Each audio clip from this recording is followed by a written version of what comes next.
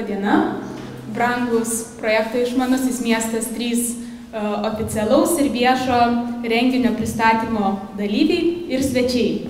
Uh, labai malonu visus matyti taip gausiai susirinkusius ir nieko nelaukdama noriu pakviesti uh, projekto organizatoriaus žodį tarti Aureliją Ruželienę, UAB Struktum projektai administracijos vadovą.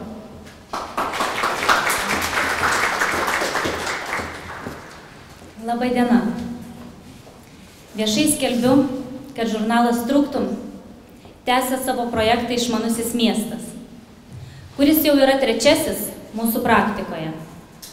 Todėl noriu su jumis visais kartu pasidžiaugti, kad sulaukėme vis daugiau bendraminčių, palaikančių mūsų idėją ir tikinčių mūsų projektu, kuris sujungia vieną galingą jėgą nuolat bendradarbiaujančius viešo ir privataus sektorių, intensyvų bendradarbiavimą, siekianti įgyvendinti Lietuvos savivaldybių planus, atnaujinti ir atgaivinti savo teritorijas. Šiais metais projekte dalyvauja keturios savivaldybės, kurios neužilga mums visiems prisistatys, įvardins savo lūkesčius bei teritorijas, kurias yra pateikusios mūsų konkursai. Bet labiausiai mus džiugina tai, kad su kiekvienais metais vis daugėja drąsių, išmanių studentų. Statybos, architektūros, miestų planavimo studentų. O aukštųjų mokyklų, norinčių dalyvauti mūsų konkurse, skaičius vis didėja. Juk ir mūsų vienas iš pagrindinių projekto tikslų yra tai, kad gabiausi Lietuvos studentai kurtų Lietuvai, o ne emigruotų į užsienį. Juk ateities miestai priklauso ateities kartai. Ir būtent, būtent todėl jie privalo susikurti tokią aplinką, kurioje norėtų gyventi, dirbti ir jaustųsi gerai. Labai dėkoju jums visiems čia taip gausiai susirinkusiems.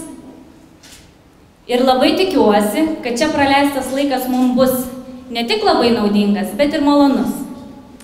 O dabar savo vietą noriu užleisti garbingą mūsų renginio svečiai Lietuvos Respublikos aplinkos ministerijos teritorijų planavimo, urbanistikos ir architektūros departamento direktoriai Marija Narmantai. Pasitikit į plojimais. Sveiki visi, iš tikrųjų taip iškilniai, išdidžiai pristatė, kad uh, reikia kažką labai rimto ir pasakyti, matyt, bet mes paprastai uh, pradedam nuo blogų naujienų ir šį kartą aš irgi lygiai taip pat nuo blogų naujienų pradėsiu, arba nuo, nuo, nuo blogų žinių. Ne, juokauju, iš tikrųjų, uh, matyt, uh, kalbant apie išmaniosius miestus, kiekvienas, uh, kiekvienas jie kitaip supranta ir, ir tiesiog išeidamas čia į šį susitikimą pasižiūrėjau, kaip tą supranta politikai arba kaip teisės aktuose tas yra reglamentuota. Ir, ir atradau tokį dalyką, kad išmanusis miestas iš pradžių yra siejamas su energetiniu efektyvumu, kaip bebūtų keista, ne renovacija, bet uh, išteklių, išteklių naudojimo ir jo uh, efektyvių panaudojimo. Uh,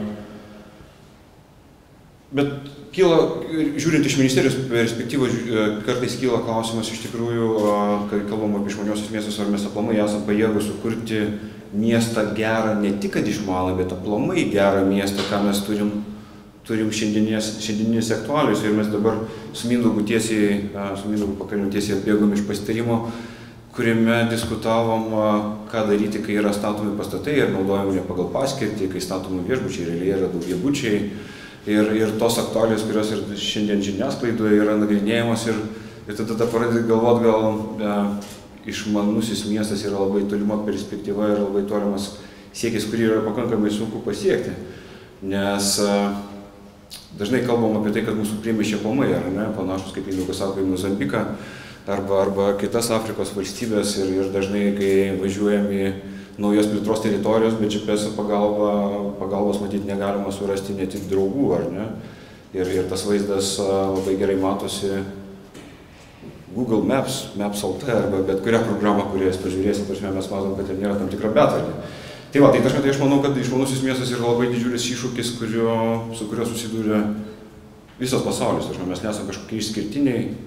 Barcelona sprendžia, New Yorkas sprendžia tas pačias problemas, ar ne? Ir kam yra tekę būti New York'e, tikriausiai buvo Times Square uh, aikštė, jeigu taip galima sakyti, bet jinai nėra panaši aikštė iš tikrųjų. Ten yra gatvė. Yra dvi gatvės. Ir sala gatvė, tarp dviejų gatvių. Uh, tai ką daro dabar uh, pasaulis, jisai bando sugražinti visuomenę, sugražinti miestą žmonėms ir, ir jį taip projektuoti ir, ir, ir, ir atnaujinti, kad jisai būtų visų pirma skirtas visuomeniai, ar ne? Barcelona uždarinėja savo gatves, tiesiog ją skirdama pešiųjų srautų.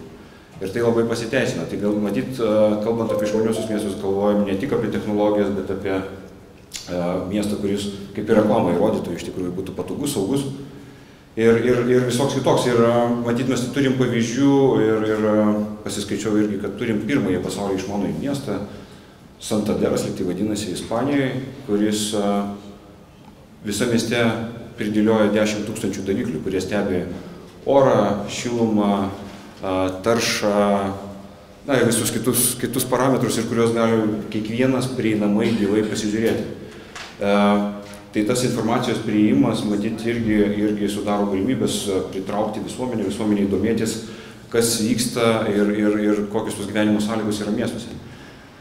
Vėlgi kalbant visą laiką apie e, patogų išmanų miestą, man norisi vieną tokią sritį paliest, kuri yra labai, mano galva, pamiršta Lietuvoje, kadangi aš pats labai mėgstu sportuoti, tai aš labai, labai uh, žiūriu į funkcionalumą miestų tarme, per sporto infrastruktūrą. Iš tikrųjų, kas buvo sukurta tarybiniais laikais, dabar yra daug kur apleista, sunaikinta ir realiai sporto infrastruktūros mes miestuose kaip ir neturim. Aš nekalbu apie tą sporto infrastruktūrą, kurią jūs dabar galėjot girdėti žiniasklaidoje, ar Žalgirių stadionas turi išlikti ar ne Vilniuje. Aš kalbu apie daug paprastesnę infrastruktūrą. Paprastas skersinį, paprastas lygiagretės. Ir matau labai daug jaunų žmonių, tai dabar pasakykit, kur miestus yra kūriamos sporto aikštelės. Kas iš jūsų tenais eina, lankosi ir, ir, ir ją naudoja. Labai, labai mažai iš jų, nes jos iš tikrųjų yra pritaikytos labai siauram ratui žmonių.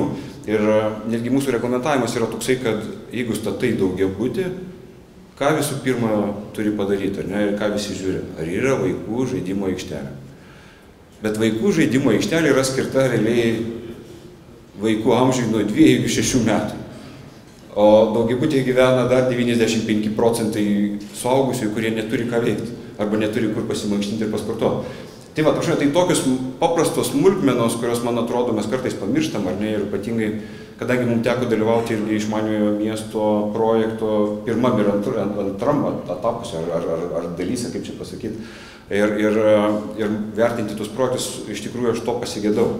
E, matyt, daugiau tų dalykų galima sugalvoti, ką, ką būtų galima įdėti, bet, na, sporto infrastruktūra yra ta, kuri, kuri galėtų iš tikrųjų padaryti miestą patrauklesnį visiems, visiems vartotojams.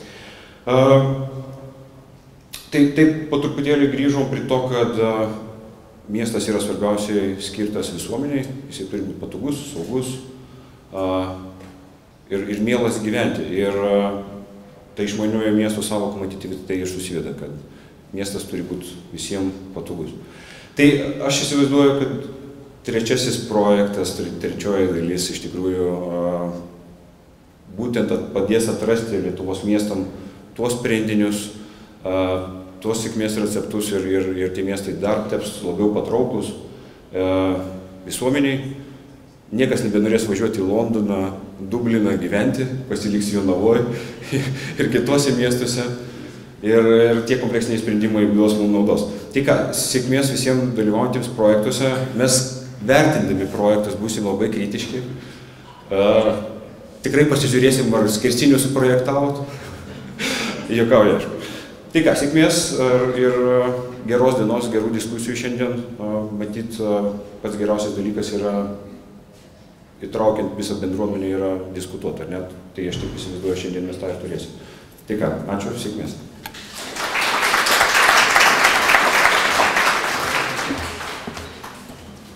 Dėkoju gerbiamam Mariu Nermantui.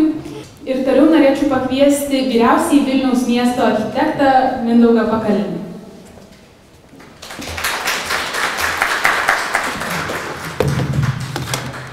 Sveiki, atsinešiau kompiuterį, nes esu pakankamai išmanus ir dalis mano smegenų yra per USB pakrauta į šitą kompiuterį, tai jeigu per didesnį atstumą jau jo nebeveiktų.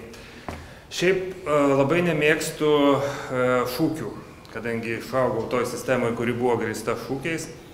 Ir tie mūsų pavadinimai, e, jie prasidėjo turbūt XIX amžiaus pabaigoje. Garden City, miestas sodas, Tai reiškia, aplink didžiuosius miestus atsiranda gražios e, gyvenvietės, kadangi miestuose tarša, tai tada žmonės tose gyvenvietėse gyvena, apsupti gražios gamtos, atvažiuoja, padirba, grįžta atgal.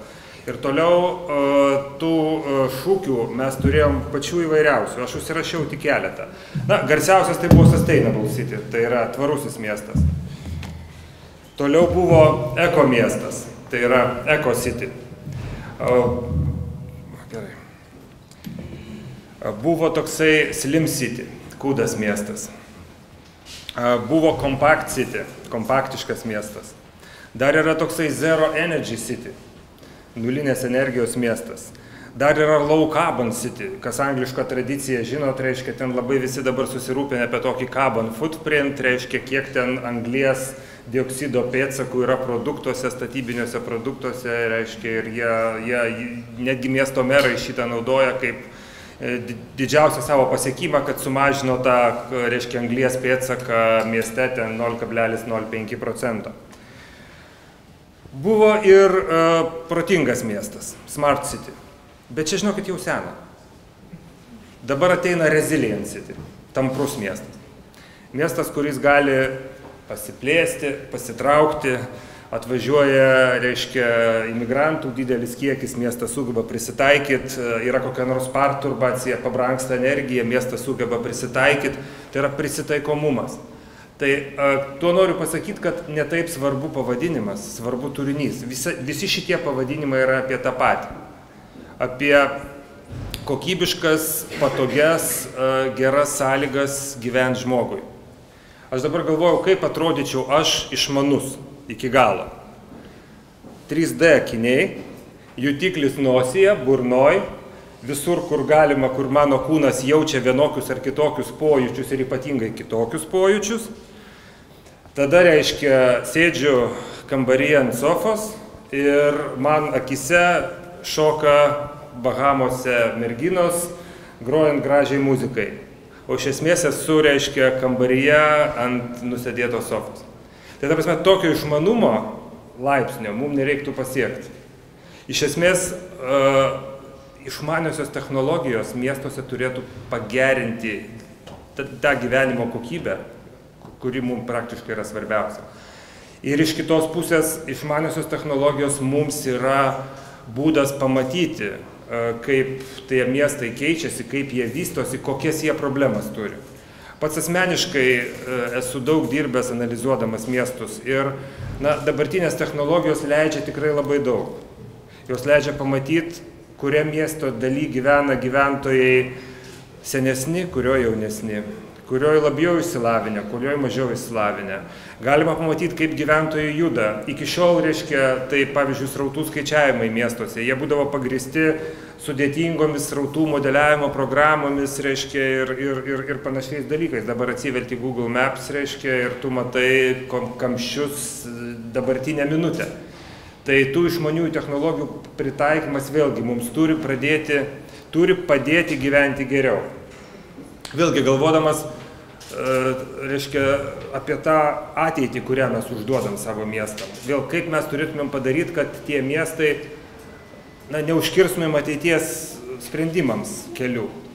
Tai teko skaityti XIX amžiaus futuristų teorijas, kur buvo parašyta, kad 20 amžiaus pabaigoje miestuose nebebus galima gyventi. Nes miestai bus labai purvini, nebepraeinami, o purvini bus dėl to, kad mieste bus labai daug arklių, vežikų, arkliai prikakos visas gatves, reiškia, ir miestai taps nebegyvenami.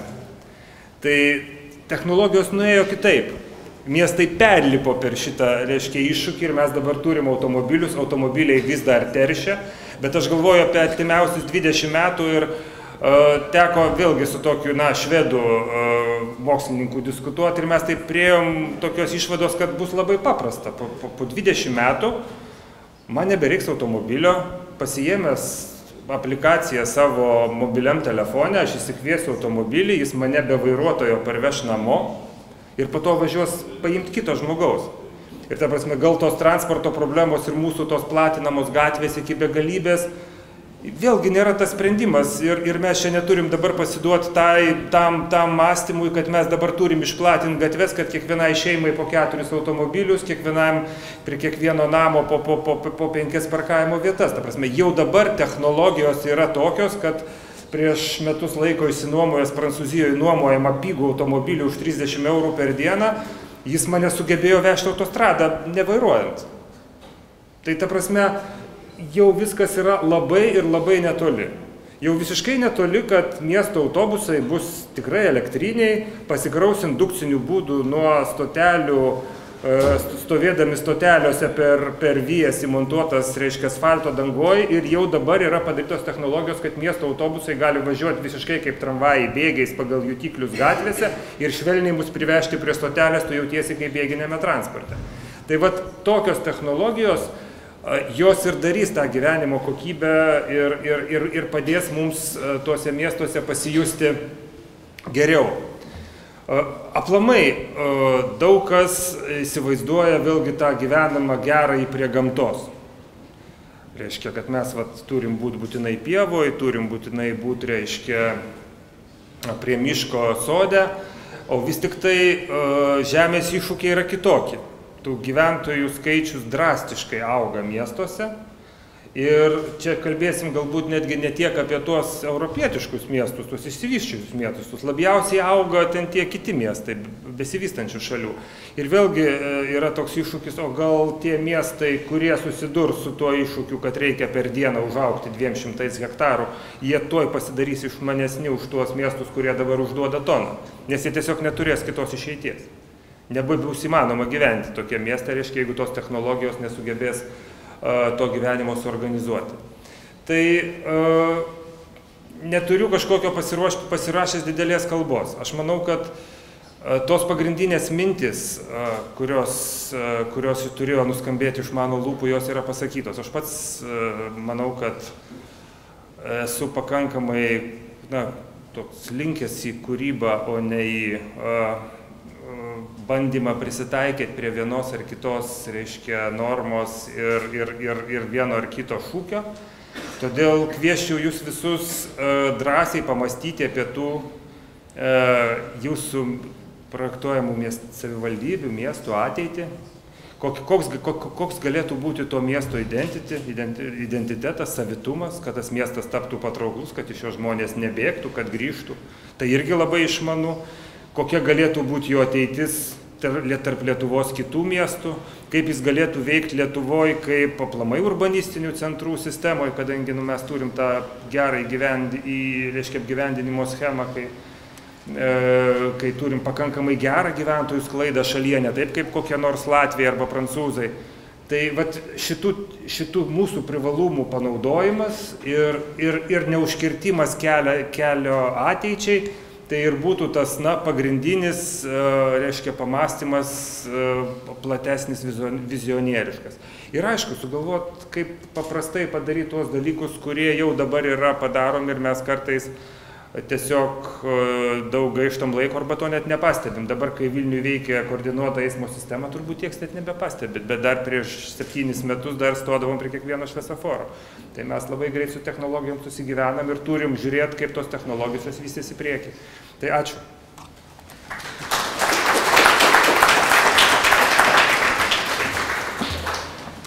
Ačiū gerbiamam architektui už jūsų pasidalintomis mintimis ir idėjomis. Na, o dabar atėjo laikas mūsų savivaldybėms.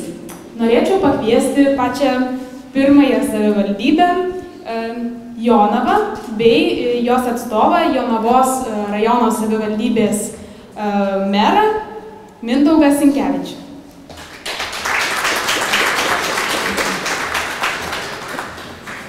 Sveiki visi. Tai mes irgi ryžomės sudalyvauti pirmą kartą šitam projekte. Nes mes esam, aš manau, bent toks nusiteikimas per mane yra, aš tikiuosi, kad ir visuomenė, ir mano komandoje yra, kad mes norim keisti savo miestą, mes norim, kad jis būtų dinamiškas, jisai būtų kitoks, kad jisai skirtų 60 savivaldybių kontekste. Ir kažkada daryti tyrimai na, visuomenės tyrimai buvo klausima, su kuo jums asocijuojasi Jonava.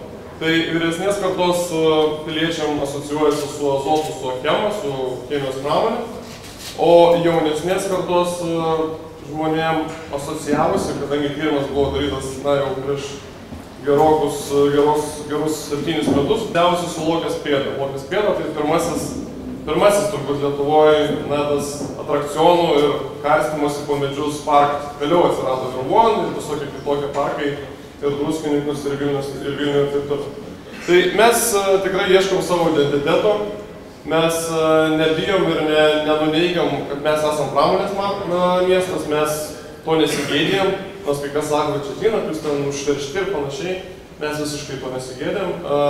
Mes nenorim, kaip beje didžioji dalis savivaldybių ir mano kolegų, kai jų paklausim, tai kuo jūs, kokia jūsų vizija miesto savivaldybės. Visi nori būti turizmui patrauklus kraštai. Na, kitaip tariant, tourist destination. Na, tai mes tikrai tokių nenorim būti, tokių nesiekiam būti. Mes nenorim konkuruoti nei su druskininkais, nei su birštonu, nei su nida, nei su palanga. Mums tai neįdomu. Mes iš principo neakcentuojam, kad mes kažkuo ten įdomus turizmų prasme. Taip, turim kelis lankytinus objektus, bet ant to nestatom savo ateities gyvenimo ir, na, tai yra ne mūsų kelias. E, Jonavos savivaldybė turbūt žinoma e, dėl to, kad tai yra devintasis pagal dydį miestas, kaip miestas, ne savivaldybė. E, dar vienas toks, sakyčiau, įdomus faktas, kad mes tankiausiai apgyvendinti. Prasme, kitaip tariant, vienam ten kvadratiniam kilometre daugiausias, daugiausias populiacijos kiekis. Ir štai yra ta erdvė, apie kurią mes galvojam. Mes buvom pasirinkę kelias ir sunku buvo atsirinkti. Bet štai yra viena erdvė, kurią mes norėtume padaryti labiau patrauklę, labiau priimtiną, labiau lankytiną, labiau išnaudotiną, tebūnie išmane. Nors to žodžio galbūt šiandien šiek tiek gyvensiu. E, tai yra mūsų, sakyčiau, centrinė lokacija, tai yra tvenkinys vienas iš, tai yra suformuotas, aiškus, sklypas, teritorija. Čia pasakysiu ir parodysiu, kas aplinkui yra. Netrukus. Tai netrukus, vat, ir noriu parodyti, tai yra mūsų irgi vienas iš sprendimų, kurį mes padarėm, tai yra joninis slėnis. Kaip ne kaip Jonava, Joninės, nu mes save šiek tiek pozicionuojam su tuo. Kodėl pozicionuojam? Todėl, kad na, legendos, istorijos ir yra tame šiek tiek tiesos, kad mes esam ir mes galvojam, kad mes esam na, Joninių Respublika. Joninės, aišku, švenčia visi. Ir man, aišku, šiek tiek apmaudu, kai kas nors iš Palangos ar Šventosios sako, o mes šitais metais busim Joninių Respublika arba Joninių sostinė. Tai aš sakau savo kolegom, žinot, mes gal Jonovoje tada padarykim jūros šventę jūros neturi, bet e, atsivešim žuvies, pasirūkysim ir padarysim jūros šventę. Tai kiekvienas žiūrėkim savo ir mes bandom pozicionuoti save per Joninės kaip pagrindinę miesto šventę. E, čia sprendimas pakankamai įdomus, manau, nes buvo didžiulės diskusijos, jeigu jūs matot, kur žmonės sėdi, apačioje yra žolė. Na, buvo irgi N plus K klausimų, kaip čia žmonės ištreips, kaip čia bus, na, kažkoks tai susiformuos ne, ne žolė, o mėšlas ir panašiai ir taip toliau. Bet mes ėjom į tą koncepciją, kad nereikia čia tų, žinot, betoninių luitų sumest, norim, kad viskas įsipaišytų į gamtą, į natūralų peizažą. Ir ta teritorija, apie kurią mes dabar kalbam ir kurią mes norim užduoti kaip uždavinį kūrybai, yra būtent po šitą teritoriją. Aš galėčiau kalbėčiau parodyti iš to, bet elgtis. A, moku. E, tai va čia yra šita teritorija, kurią mes norim padaryti šiek tiek labiau patrauklą. Čia yra šalia Jonis Lėnis, šitoj teritorijai Ar kas nors girdėjo, Jonava turi slidinėjimo trasą, valia. Tai mes turim savo slidinėjimo trasą. Jos iš jos nedarom čia šau, vėlgi, čia yra mūsų pačių naudojimui, mūsų pačių reikmėm, mūsų pačių gyventojam. Mes nekviečiam ir gink dievė, ne, nedarom čia kažkokio tai šau iš to, kad važiuokit, slidinėkit Jonavoje. Turim savo poreikiam, savo vaikam, savo mokiniam, puikiai vieta pasimokinti ir štai yra ta vieta, kur slidinėjimas vyksta, štai yra vieta, kur vyksta jonės. Pasakysiu irgi, kadangi esate visi jauni e, ir aš dar toks nu, pusiau apjaunis, tai jonių slėnį mes išnaudojam, ir jis taip vadinasi oficialiai, ne tik jonį, ne tik tai vienam baliui, kaip pasakau, mes padarėm šitą daiktą. E, visą šiltą sezoną ten kiekvieną savaitgalį vyksta renginiai. Turim net ir Jonavos jazz festivalį. Valia. E, turim pažaislio muzikos festivalį su Rinkevičiais atvažiuojančiais ir, ir, ir orkestrais ir viso ko tik tai reikia. Nedaug kas apie tai žino, mes nedarom iš to didelio šau, bet uh, tikrai tą kultūrą, šio laikišką kultūrą čia uh, kūrė. Uh, mes kūrėm, aišku, savotiškas erdves, na, čia tiesiog kaip pavyzdžiai, kad mes esame nu, pakankamai ambicingas, uh, vietoj nestovintis miestelis.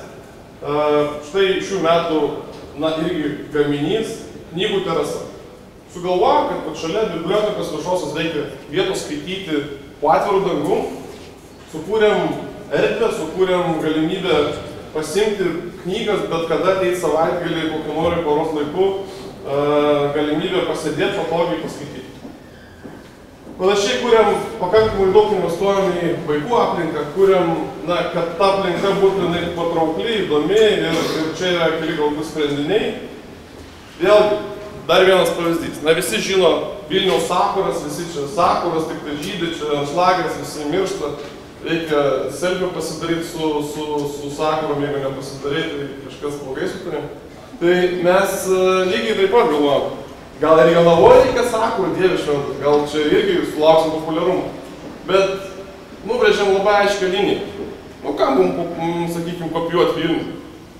Mes galim kažką savo sukurti.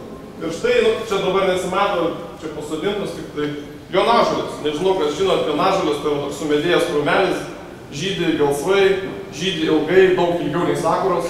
Ir štai Jonava, jonažulės, mes turim savo skverą, savo teritoriją. Mes nekopijuojam Vilniaus, Vilnius, jeigu lieka su sakurom, mes būsim su jonažuliu. E, vėlgi, čia įdomus sprendimas, kuris irgi gimė šiais metais, tiesiog, tiesiog matyt, kad dėl to, kad mes esame kūrybingi. Vandens bokštas nudažėm, transformavom į kopinėjimo arba alpinizmo bokštą. Kitaip tariant, ką aš noriu pasakyti, aš nenoriu pasakyti, kad čia kažkokios idėjos vyksta ar kažkas. Mes sakom, kad mes esam atviras miestas, dinamiškas miestas idėjom ir nebijom eksperimentuoti. Mes esame tiek e, pašėlę ir tokie nu, savotiškai beprotiški, kad mes net kultūros ministerijai pateikėm paraišką tapti Europos kultūros sostinė 22 metais. Ir visą tai jūs galite įsivaizduoti, koks tai yra kreizas, kaip Jonava nebijo pasisiūlyti 22 metais tapti Europos kultūros sostinė. E, tas tvenkinys, apie kurį mes šnekam, nes turim čia visokių pamastymų, galbūt uh, wake parkai, dar, dar kažkas, dar kažkas, dar kažkas. E, kiti pavyzdžiai, ką mes projektuojamės ir dėliojamės, na, vėlgi, tam tikrai pešiųjų tiltai irgi ne bet kas, mums bet kas netinka. Mums bet kokio sprendinio nereikia. Dėl to mes ir einam į konkursą, nes, na, kartais nesam profesionalai, nesam kažkokie ekspertai ir mums reikia idėjų. Mes idėjų nebijom, mes nesam kažkoks sustabarėjęs senas miestas, mums reikia gražių teisingų idėjų. Sprendžiam, kaip įprasminti save vienoje iš aiškių. Uh, darom tikrai ne vieną architektūrinį konkursą, ne visą laiką sulaukiam galbūt uh, gražių teisingų minčių, bet, na, kažką sulaukiam. Tai čia tiesiog yra keli pavyzdžiai. E, ir matyt, tuo užsibaigė. Viskas, tie pavyzdžiai buvo tik tai realus mūsų gyvenimas. Tai ką aš noriu pasakyti ir ką aš norėjau iš principo pasakyti ir dar kartelį trečią kartą akcentuosiu. Mes turim tam tikrą teritoriją, mes ją norim susitvarkyti pagal savo finansinės galimybės, atliepiant visuomenės poreikius. Mes nenorim daryti iš to šau, mes nenorim tapti, nežinau, Jonava su dar vienu Europos kultūros ten centru ir atvažiuokit visi čia, kaip labai smagu Jonavoje. Mes norim susitvarkyti savo, jeigu kaimynai vertins, valio, bet iš principo mes kuriam aplinką savo žmonėm. E, dar gal koks nors vienas kitas svarbus aspektas, kad mes ieškom tikrai savo identitetų. Čia yra keli, sakykime, štrikai, į tą pusę, ne į tą pusę, čia sunku atspėti, bet, bet iš principo mes ieškom savo identitetų. Tam, ta prasme, ieškom ne, ne meras, ten googlina kažką atsisėdęs su, su komanda, bet uh, bendradarbiavam su, su įvairiom mokslo institucijom. Kalbėdami apie Jonavos arbatą, apie Jonavos ledus, apie Jonavos kvapą. Yra tokių fiks idėjų, bet iš principo jos egzistuoja. Tai nėra mums kažkas wow. Uh, tai mes daug dalykų darom, uh, bet to identiteto galbūt iki galo neradom. Aš visą laiką savo kolegom sakau, žinot, mums reikia kažko savo. Tebūnė mes Marsiečių muziejų Jonavoje įsteigė, bet tai žinot, būsim žinomi visam pasauliu, greičiausiai ir Europoje. Bet čia tiesiog gal ne, neteisingas pavyzdys, bet iš principo mes ieškom, mes uh, norim ir visi, kurie norės imti šito reikalo, kviečiu žiūrėti kūrybingai, kviečiu nebijoti fantazuoti, realizuoti savo idėjas, nes mes kažko norim unikalaus. Susitvarkyti, takelis, tiltelis, gėlytės, apšvietimas, viskas tas fine, bet mums to nereikia. Nes jeigu to reikėtų, mes patys tą padarytume. Mums reikia kažko originalaus, šiuolaikinio, kad būtume sugebantis aplenkti Vilnių. Na, Vilnius mums net nerodiklis. Tai dėkui ir atgal.